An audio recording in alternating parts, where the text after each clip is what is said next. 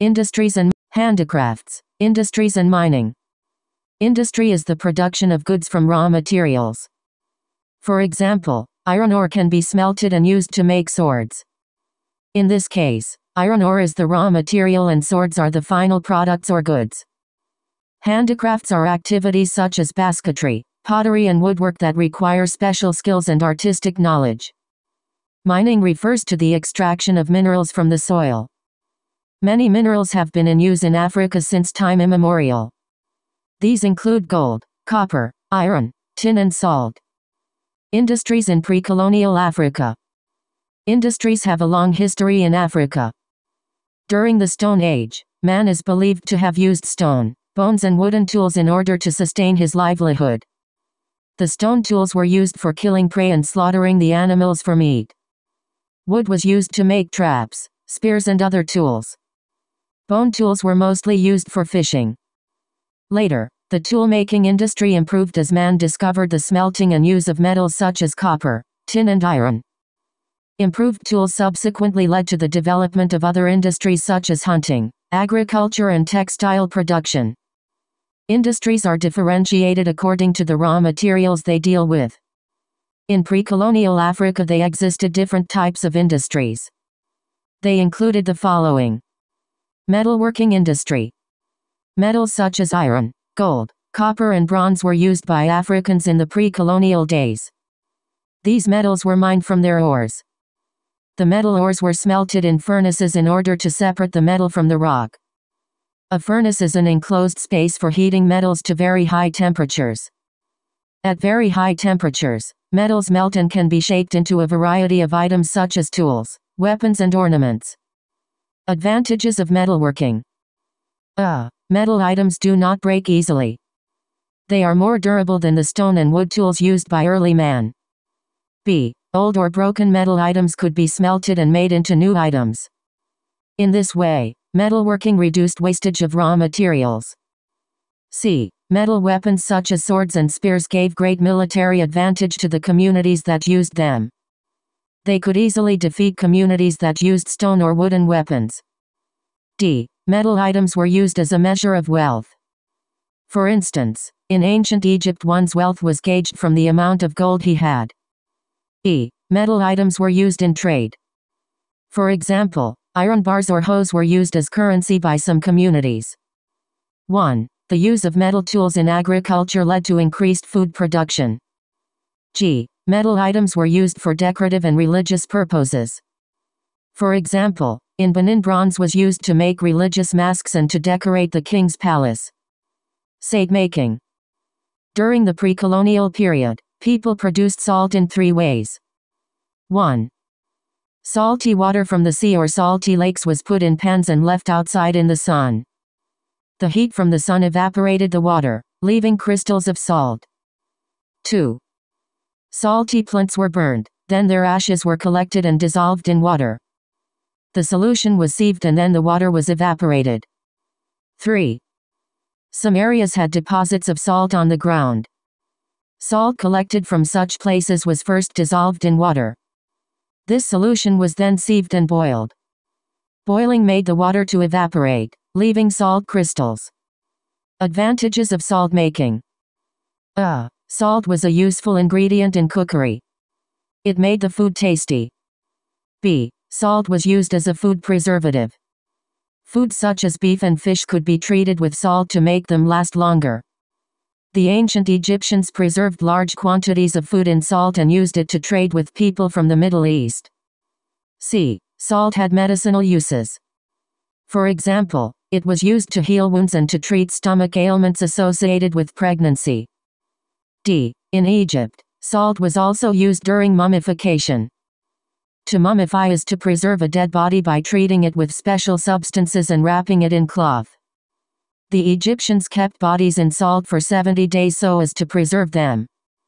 E. Since salt was a scarce commodity, it was also used as a medium of exchange and a measure of wealth, for example, among the nomads of the Danakil Plains in Ethiopia.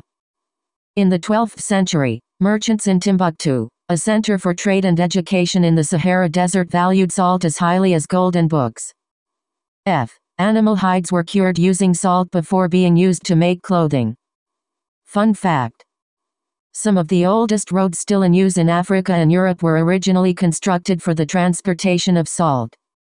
Food processing. Traditionally, grain was dried in the sun before being stored. Cereals such as maize and millet were prepared by pounding using a mortar and pestle or by grinding using stones to make flour. In Zimbabwe, dry maize grains were mixed with the ashes of dry maize cobs in order to control weevils. Many communities built granaries in which to store grains. Meat and fish were preserved by drying, smoking or salting. Cassava, bananas and potatoes were cut into thin pieces and dried in order to preserve them. Sometimes, sweet potatoes and cassava were harvested and stored in large pits in the ground. Among the Wangindo, mushrooms, green maize and kund leaves were boiled and then dried their freshness. Alcoholic drinks were made from honey, fruit, grains or tree sap. For example, the Chaga and Baganda brewed alcohol from bananas while the Wandengereko used pawpaws. Traditional methods of cooking included boiling, roasting and baking in hot ash. Advantages of food processing. A. Food processing prepared food for consumption. The community got food ready to meet everyday needs. B. The alcoholic beverages produced were used for leisure and religious ceremonies. For example, beer was used as a refreshment or an offering to the spirits or gods. C. Food preservation methods ensured that the community had food even during periods of drought or when the harvest was not enough. D. Food items could be used in trade. For instance, the Egyptians traded salted foods for Phoenician timber and dye. Handicrafts in pre-colonial Africa. Handicrafts are activities where one uses skills with the hands and artistic ability to make things. Common handicrafts in pre-colonial Africa included textile production, leatherworking, weaving and basketry, pottery, woodworking and house construction. Textile production. Textile production is the making of cloth from various materials. Textile production was one of the earliest handicraft industries in the African continent. Some of the oldest surviving garments in the world have been found in ancient tombs in Egypt. Among the fibers used in the manufacturing of textiles in Africa were bark, bast, raffia, silk, wool and cotton. Silk, wool and cotton were spun. This means that they were made into thread. Bark, bast and raffia were non-spun fibers. Bark cloth was made from tree bark among the Nyakyusa. Buhaya Baganda, Raffia was peeled off from the leaves of the raffia palm. This palm grows in the swamps in the tropical forests of East and Central Africa and Madagascar. Silk production was mainly done in Nigeria and Madagascar. Silk is got from the cocoons made by silkworms. Wool, on the other hand, came from sheep and goats and occasionally from camels, especially in southern Madagascar, northern Africa, Sudan and the Sahel belt of West Africa. Weaving using wool was common among the Berbers and the Fulani. Bast fibers were obtained from the skin surrounding the stem of plants such as flax and jute. Early Egyptians made linen textiles from flax. The flax plants grew in great numbers along the banks of the river Nile. Cotton was grown in many parts of the continent. Cotton cloth was made by the Yoruba of Nigeria and in Guinea. Among the Fipa of Tanzania, Cotton yarn was prepared by rolling the lint on the spinner's thighs. Cotton cloth was woven on local looms. Various fibers were mostly decorated through dyeing. Among the Asante of Ghana, a adinkra cloth was printed using black dye from tree bark and stumps carved from sections of a calabash. A variety of items were made from textiles, including blankets, carpets, ordinary clothes as well as funerary clothes. Advantages of textile production. Uh, this industry enabled people to make clothes for everyday use and for special occasions such as weddings and funerals. B clothes manufactured were often traded for other items such as food. This way, the community could get items it needed but did not produce. C. Textile producers made blankets for keeping warm during the cold seasons. This helped to keep away diseases and death caused by very cold conditions, especially in mountainous regions. D. Cloth was used to make sails which were used by fishermen and sailors in the lakes and seas. Sails enabled sailors to travel farther and longer than when using oars. This encouraged traveling over water and also improved fishing. E. As early as the 14th century, strips of cloth were used as a form of money or medium of exchange and trade. This was especially common in West Africa in the savanna belt between Senegal and Lake Chad. Strips and rolls of cloth were units for measuring value and wealth. F. Some of the clothes were specifically made for ceremonial rites. For example, there were shrouds clothes for wrapping a dead body before it is buried, marriage clothes such as the ones used by the Dogon, and healing clothes like those used by Yoruba women healers. G. Symbols printed on textiles could be used to pass on aspects of the community's culture. An example are the Adinkra symbols that were used on pottery, walls and cloth in ancient Ghana. Leatherworking. Leatherwork involved the use of hides and skins to make various items. The craftsman produced belts, sandals, tents, clothes, straps, bags, sleeping skins and shoes. Fun fact. The talking drums of West Africa imitate pitch patterns of a language and transmit messages over many miles. D. Leather articles were used in trade. They were exchanged with other products such as grains and vegetables to meet the community's needs. E. Leather was used for making houses especially among the pastoral people such as the Somali. F. Leather was used for making shields, slings, bowstrings and other weapons. These were important when fighting other communities. G. Ropes for tying bundles or tethering animals were also made of leather. Leather was strong enough to hold things such as firewood together and also to prevent livestock from straying. Weaving and basketry. Some people were skilled in making various items by weaving. The raw materials used included grasses, leaves and fibers from palms and reeds. The products made included baskets for general use, food baskets, lidded containers, bags, fish traps, beds, ropes and mats. In East Africa, the Luo were experts in basketry while the Nyakyusa were renowned for making mats. Advantages of weaving and basketry. Uh. Some communities built houses and boats by tying planks of wood using woven ropes. For example, among the Waswahili along the east coast of Africa. B. The weaving and basketry craft also supplied the community with household items, such as furniture, beds and mats, as well as kitchen utensils. For example, the ungo for winnowing grain and the kifumbu for sieving coconut. These items made life more comfortable. C. Items made by weavers could be used during trade in exchange for weapons, food and other requirements. D. Woven containers enabled communities to carry loads more easily. The Kenyan Agikuyu and Kamba, for example, used their famous kiondo for transporting various items. E. Woven fish traps and nets enhanced fishing. For example, the coastal people of East Africa made fish traps called mandama by plaiting strips of bamboo. These traps enabled them to catch fish for domestic consumption and trade. F. Woven granaries and baskets provided storage for agricultural produce. These stocks provided food when there were shortages and were also the source of seeds during the planting season. Pottery. Pottery was practiced in areas where there was suitable clay soil. Some of the famous groups in this field were the Akamba, Kisii, Batuan, Jisu. They made items such as cooking pots, water containers, beer jars, cups, pipes and clay lamps. Advantages of pottery.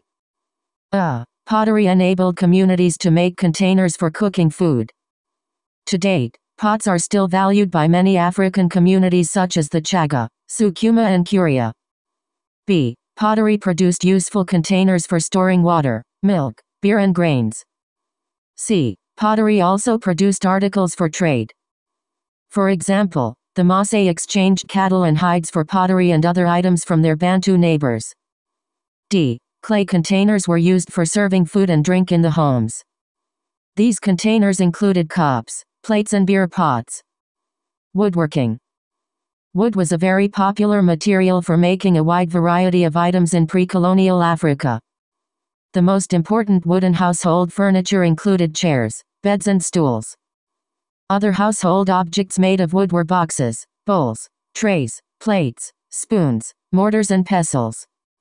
Wood was also a common material in the construction of houses. For example, the frames and doors of houses were often made of wood. Communities near mangrove swamps built their houses using mangrove poles because this type of wood is highly resistant to termites and rot. People living near oceans, lakes and rivers often made wooden boats and canoes. For instance, the carpenters along the Tanzanian coast dug out tree trunks to make vessels called ngiraa. Weapons such as spears, bows, arrows and swords also had wooden parts. In addition, wood was used to make musical instruments such as drums, fiddles, flutes and xylophones. Woodcarvers made sculptures and ritual objects from wood. Some of the carvings were believed to ward off bad omens. Others were used during religious ceremonies, such as the wooden religious masks made in Benin. Woodwork was however a male affair. In Benin, woodcarvers were organized into guilds called Igbesanmwan. The carvers worked mainly on commission from the chiefs. In Tanzania, the Zaramo and Makonde produced high-quality woodcarvings, while in Kenya the Akamba were famous woodcarvers. Advantages of woodworking. A. It enabled communities to produce furniture such as stools and tables for their homes. B. Communities were able to make bowls, plates, pestles and other items for domestic use. These were important for food preparation and presentation. C. Wooden weapons were important during wars. Armies in traditional African societies relied heavily on wooden weapons such as clubs, spears, bows and arrows. D. Wooden musical instruments were used for communication and entertainment. For example, wooden drums were used as accompaniments for songs and dances, but they could also be used to give warnings or call people for meetings. E. Wooden religious items were necessary during rituals for instance masks to ward off evil spirits and wooden statues to represent gods. The Akan of West Africa carved characters on wooden stools and walking sticks as status symbols and expressions of personal beliefs. F. Wood products were also exchanged for other items required by the communities. For example, wooden utensils could be traded for fabric for making clothes.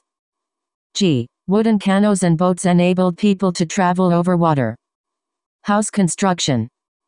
House construction was an important economic activity. The materials used were determined by a number of factors such as climate, availability of materials, technology, labor, religion, family structure, kinship and class. The most commonly used materials for house construction included bricks, mud, stone, wood, grass, bamboo and leather. In West Africa, the Asante built houses with walls made of timber and plastered with clay. Roofing was done using palm leaves. The Waswahili along the east coast of Africa used stones to construct their rectangular houses. The roofs were made of palm leaves, makuti. Many coastal communities also burnt coral rocks in open kilns to produce lime. Lime was used to build strong durable walls. The Maasai built their houses using branches and cow dung. Traditional chaga houses were round. A wooden frame was put up, then it was covered with grass or banana leaves. Fun fact. In the 13th century, Kilwa was famous for its magnificent houses, palaces and mosques. Its Husuni Kubwa Palace was the largest building in Africa, south of the Sahara at that time. Advantages of house construction. A. Houses protected people from extreme weather conditions such as hot sun and heavy rain. They were also a refuge from wild animals. B. Houses provided a place for people to store their possessions. For instance, food stores kept food reserves safe from thieves, pests and adverse weather conditions. C. Houses reflected the advancement of a society. Sophisticated designs were a source of prestige and a measure of the level of a community's development. D. Buildings provided privacy for their occupants.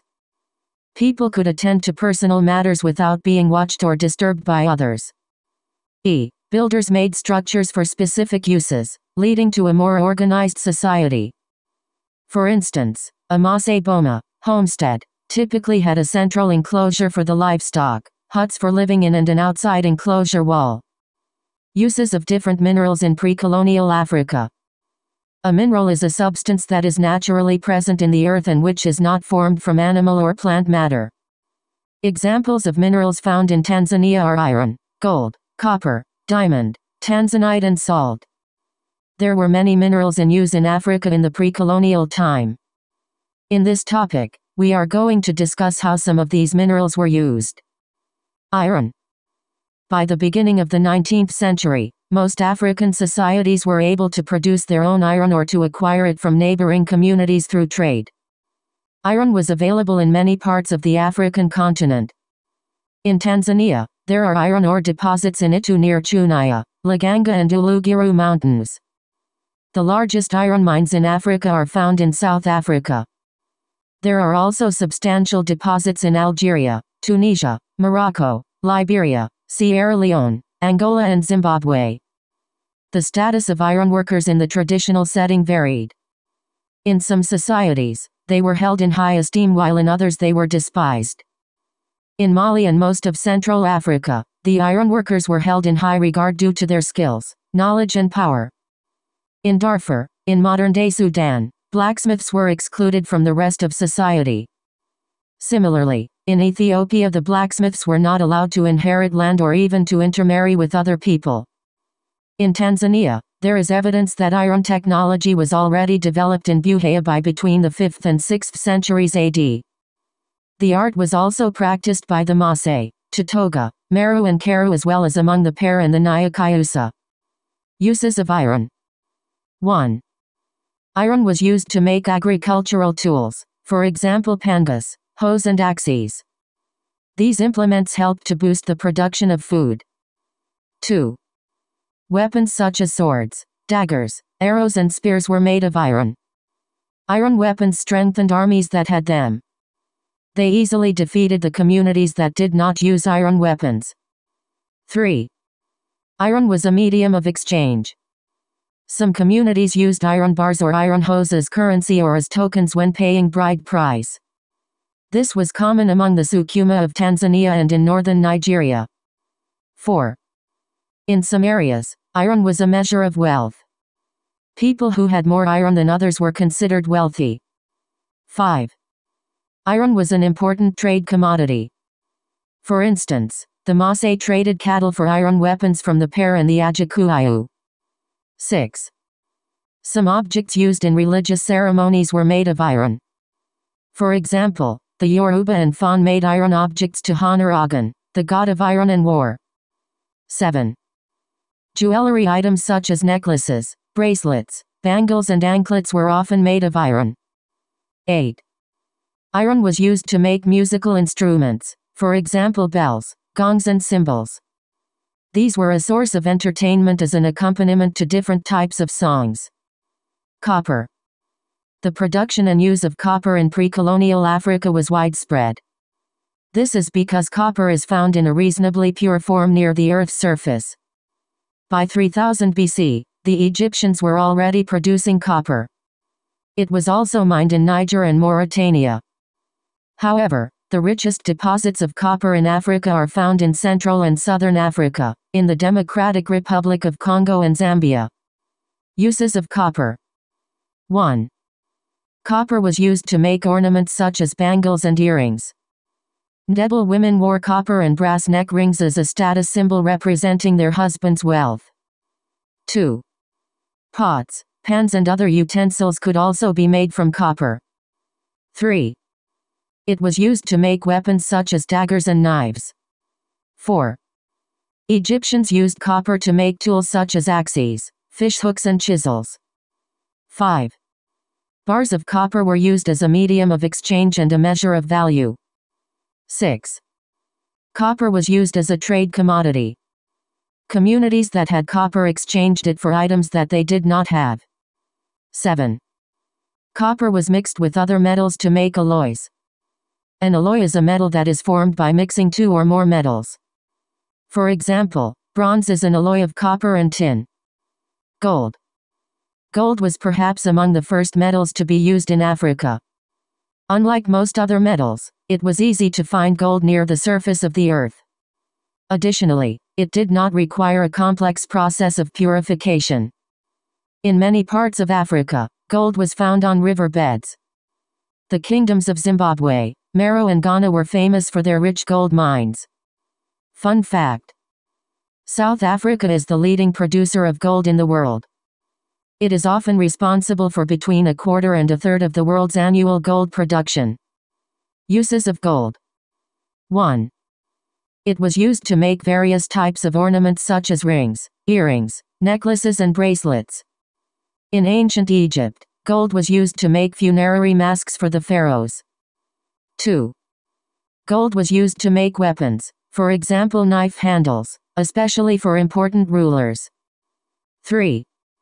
Gold was used as a currency as well as a measure of wealth. 4.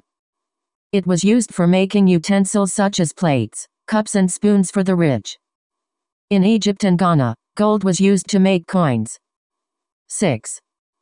Gold was an important trade commodity. In East Africa, the town of Kilwa became prosperous due to its control of the Indian Ocean gold trade. 7.